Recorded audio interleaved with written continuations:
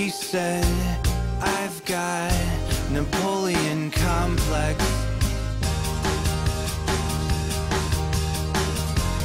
She said, I've got Napoleon complex.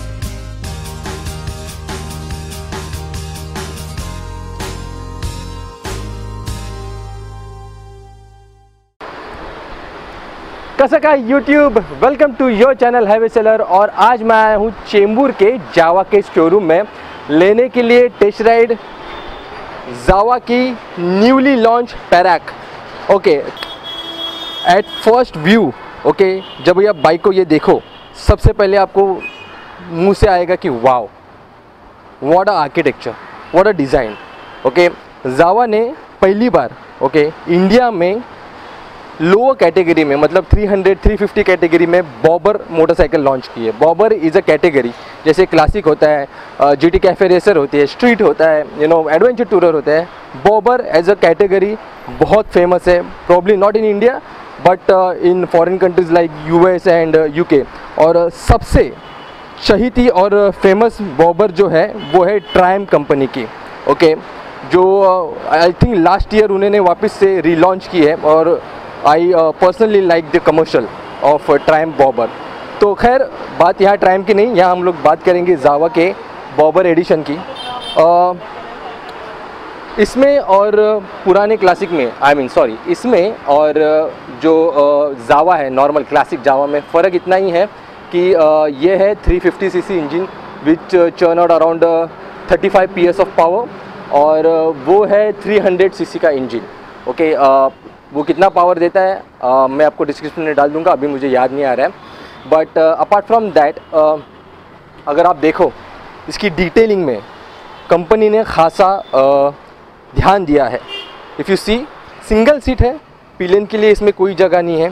तो अगर आप ये बाइक लोगे तो you have to be really really selfish okay तो काफ़ी कंफर्टेबल स्टाइलिश टैन कलर में सीट दी है जो कि गाड़ी के कलर के साथ काफ़ी जच रहा है। सिंगल कलर में ये बाइक आती है। ये इसको आप कह सकते हैं ये mattish grey kind of a colour है, जिसके ऊपर गोल्डन स्ट्रिप्स दी है और लोगों में भी गोल्डन दिया है जावा जो कि काफ़ी अच्छा लग रहा है इस मोटरसाइकिल के साथ। ओके इसका जो टेल लाइट है सीट के नीचे दी है just like any other bobber जो बहुत ही स्टाइलिश और अट्रैक्टिव लगती है। और रात में अगर इस बाइक को आप राइड करोगे प्रॉब्ली सी फेस पे आप राइड करना चले जाओगे तो ये बहुत ही ज़्यादा अट्रैक्टिव लगेगी। टेल लाइट ये फ्रेम पे माउंट है, अगर आप देखोगे। Just like a typical bobber इसकी टेल लाइट जो है सिग्नल लाइट जो है। और यहाँ एक नंबर प्लेट के लिए एक लाइट दी है, जो काफ़ी क्लासिक लग रही है। ट्यूब टायर्स है इसमें अनफॉर्चुनेटली ट्यूबलेस नहीं है स्पोक व्हील है। आई वॉज़ एक्सपेक्टिंग इसमें कंपनी अगर मैकविल्स दे देती और ट्यूबलेस टायर दे देती तो चार चाँद लग जाते। चलाने में कैसी है? इसकी जब मैं टेस्ट राइड करूँगा तभी मैं आपको बता सकता हूँ। बट देखिए, आगे से टिपिकल जावा लगती है और साइड से इट्स अ ओरिजिनल बॉबर चौड़ाई में इससे थोड़ी वाइड है because of course it's a bobber and जो रेयर व्यू मिरर्स कंपनी ने दिए हैं इस बाइक पे वो भी काफ़ी काफ़ी स्टाइलिश है। बेसिकली जब भी आप हार्ली की कोई एट एटी थ्री देखो या कोई भी टॉप मॉडल देखो हार्ली का आ, ऐसे ही रेयर व्यू मिरर्स आते हैं। आई गेस क्वालिटी का थोड़ा सा इशू है बट दैट इज़ हाउ मैं आपको बाइक का कंसोल भी दिखाता हूँ। ये देखिए ये बाइक का कंसोल है। इसमें आपको बैटरी ओ बैटरी इंडिकेटर था इधर वो मिल जाएगा। पेट्रोल है एबीएस है न्यूट्रल है और कूलेंट है इंजन का। फ्यूल, यहाँ एक अच्छी तरीके से बहुत ही वॉट यू से पुराने स्टाइल में और उससे बहुत ही ओल्ड स्कूल टाइप का कंसोल दिया है। ये देखिए, जब जैसे पुराने जावा में था, फ्यूल इंडिकेटर वैसे ही है। ऑडोमीटर भी आपको मिलेगा, जहाँ आप ट्रिप के बारे में आपकी जानकारी ले सकते हो। इसका जो फ्यूल ओके यहाँ ठीक है मुझे लगा ये ओपन करने वाला है। बट काफ़ी क्लासिक और काफ़ी ऑथेंटिक रखा गया है। यहाँ भी पैरा ब्रांडिंग की गई है। का, गाड़ी काफ़ी दिनों से खड़ी है तो प्रॉब्ली यू नो तो काफ़ी धूल है तो शोरूम वालों ने थोड़ा सा साफ़ नहीं किया है। But this is a walk around और uh, चलो अब मैं आपको सुनाता हूँ इसका फायरिंग ओके okay? uh, एक इस बाइक में मुझे बहुत अच्छा लगता है। अभी जब वो सेल्स वाले मुझे एक्सप्लेन कर रहे थे, तभी उन्होंने मुझे बताया। So if you want to start a bike अगर ये बाइक न्यूट्रल में भी है तो आपको सबसे पहला क्लच दबाना पड़ेगा, और उसके बाद ही आप इस बाइक को स्टार्ट कर सकते हैं। चलो, मैं आप करके दिखाता हूँ। अभी मेरे पास तीसरा हाथ तो है नहीं तो ऐसे ही करना पड़ेगा। तो ये देखिए, मैंने क्लच दबाया, और ये स्टार्टर का बटन दबाया। तो देखिए इंजन ऑन किया, और ये स्टार्ट का मैंने बटन दबाया।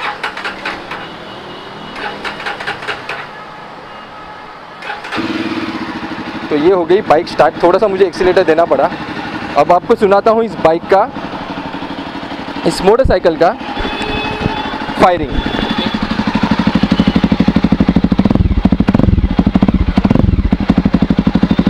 ये हाफ़ कट एग्जॉस्ट होने के कारण इसकी जो फायरिंग है इस, अ, ये बहुत ही अमेजिंग है। इट्स नॉट लाइक योर आरी but it's it has a very typical bobber style firing जो मुझे काफ़ी पसंद आ रही है। And it's a dual exhaust again ये यहाँ एक एग्जॉस्ट है और यहाँ भी एक एग्जॉस्ट है।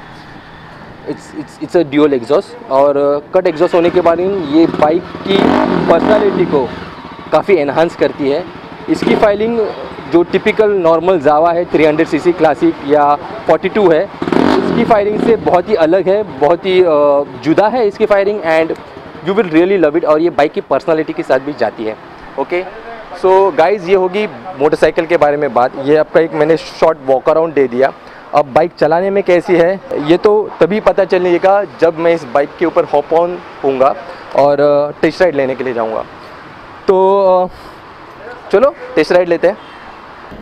हाँ सो गाइज़ फाइनली मेरे हाथ में आ गई है जावा पैराक, जो है उनका बोबो वर्जन तो सबसे पहले तो बात करते हैं हवा में फीलिंग तो सबसे पहले तो जब बाइक इस बाइक के ऊपर मैं हॉपन हुआ तो वो अच्छा लग रहा है।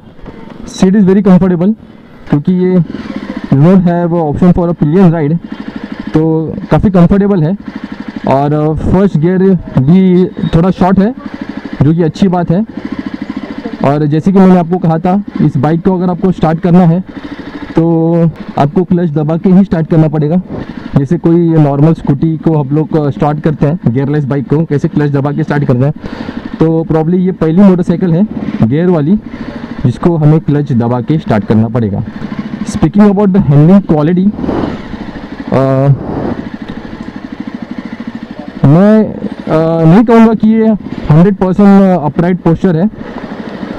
थोड़ा इंक्लाइन तो हो ही रहा है but still a very comfortable riding posture wide up की हैंडल बार्स है. गियर का रेशियो काफ़ी शॉर्ट है. मुझे लगा था ये रेयर व्यू मेरे कुछ काम के नहीं होंगे बट एक्चुअली ये बहुत काम के हैं. और, थोड़ा राइट का रेयर व्यू मेरे का कुछ इशू हो गया लगता है तो it's not performing good compare to any 350 Royal Enfield motorcycle इसका 350 इंजन थोड़ा ज़्यादा ट्यूनिंग है। अच्छा पिकअप ले रही है मोटरसाइकिल और आई गेस रेयर जो शॉक है, वो थोड़ा हार्ड है। फ्रंट शॉक जो थोड़ा सॉफ्ट है। मतलब जो नॉर्मल होना चाहिए वैसे है। काफ़ी रिस्पॉन्सिव ब्रेक्स है। I am really very impress with the brakes Dominar से भी अच्छे ब्रेक्स है इसके। काफ़ी ज़्यादा रिस्पॉन्सिव है डोमिनार से। पीछे का इतना नहीं है बट आगे का काफ़ी रिस्पॉन्सिव है। और तो if you if I want to compare uh, brakes with Domino brakes ये अच्छे हैं। हैंडल थोड़ा आपको हेवी लगेगा जब आप चला रहे हो उसको। थैंक यू भाई। तो ट्रक वाले ने जाने दिया मेरे को। और आसानी से आप इसको ट्रैफ़िक में मैन्यूवर कर सकते हो। बट इसका असली मज़ा है स्ट्रेट लॉन्ग रोड्स पे।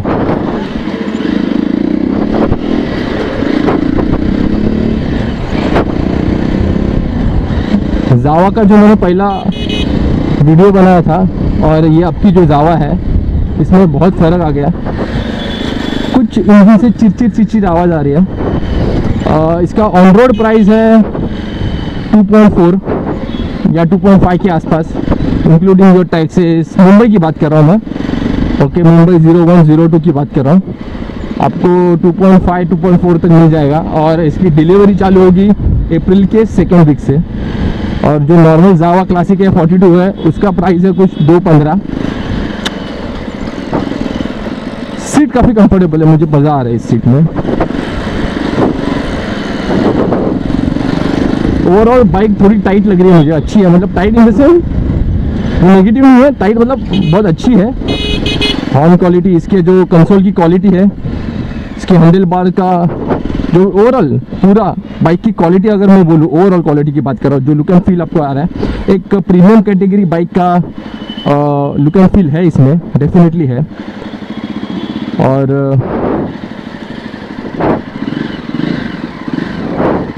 काफ़ी अच्छी फायरिंग भी है इसकी। हैंडल बार का सबका क्वालिटी बहुत अच्छी है।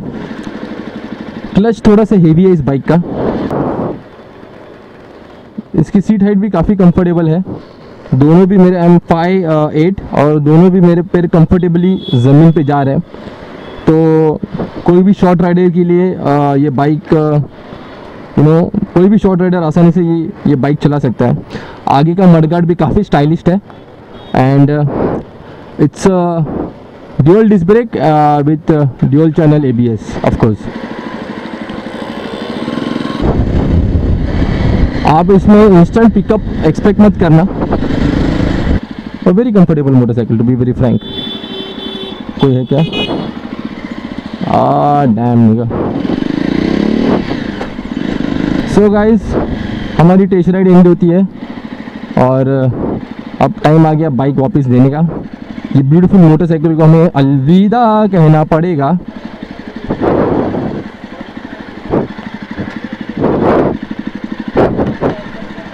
हाँ but definitely this baby is a attention seeker definitely क्योंकि अगर आप उसको रस्ते पे लेके निकलोगे तो आपको सेकंड लुक तो मिलना लाजमी है। So guys on that note, this is Highway Sellers signing off.